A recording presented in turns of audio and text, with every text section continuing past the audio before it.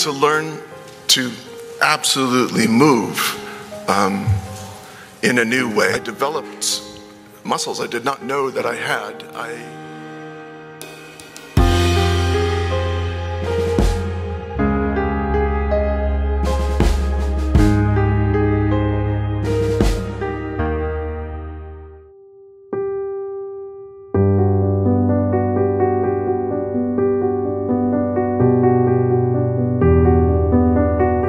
This presented the biggest challenge to me that I wanted. Charlie is the most heroic man I have ever played